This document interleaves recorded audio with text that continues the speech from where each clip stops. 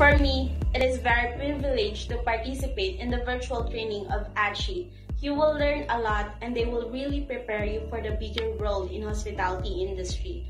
Everything you need to learn, to know and improve on yourself, ACHI will teach you as far as they can and they are really provide professional trainers and they are very accommodating to assure that you will learn something, although it is only a virtual training.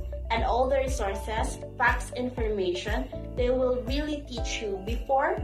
I doubt it. I said nothing will happen because it's still virtual. It's just the same what I do in the online class. But I'm thankful that I went to ACHI because I feel like after my training and until now, I am ready to enter in our industry. I don't regret that I went to ACHI and joined the virtual training. I am confidently ready to face all the challenges in the hospitality and tourism industry.